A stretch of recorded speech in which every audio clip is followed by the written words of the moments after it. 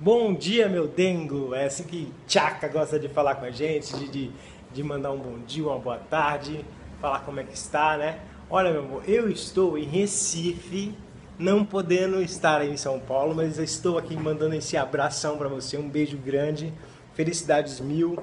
Sabe que você mora no meu coração, gosto muito de você, te desejo muitas felicidades nessa data e, e e todos os dias de sua vida, tá bom? Mantenha essa felicidade enorme que você consegue extravasar para todos nós que estamos ao seu redor, tá bom? E te amamos muito.